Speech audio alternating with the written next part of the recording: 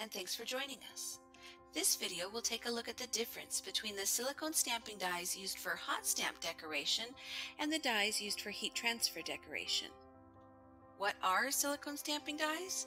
Silicone stamping dies are used to apply the pressure that transfers decorated heat transfer film or hot stamp foil to the surface of a product or component.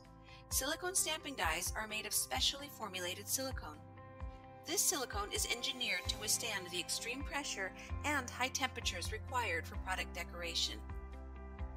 While hot stamp and heat transfer decoration processes are very similar, one of the difference between the two technologies can be seen in the dies used.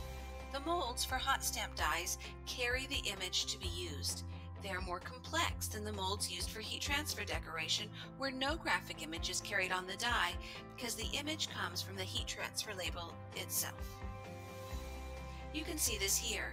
The hot stamp dies are used to apply hot stamp foil, while the less elaborate heat transfer dies are used to apply decorated heat transfer film. Would you like more information about our silicone stamping dies for hot stamp or heat transfer decoration? Please get in touch. We are eager to speak with you.